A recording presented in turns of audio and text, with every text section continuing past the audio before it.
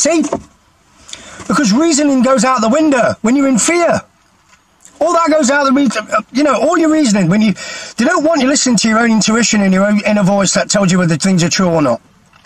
They don't want you listening to that inner voice. They want you listening to their voice. Cut you off from your intuitive self. Cut you off from the higher self. And listen to sound bites and morons reading from auto cues.